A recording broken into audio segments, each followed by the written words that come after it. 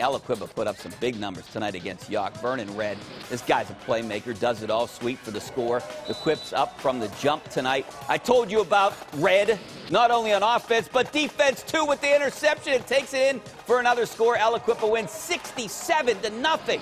The Quips are also 7 0 after tonight. And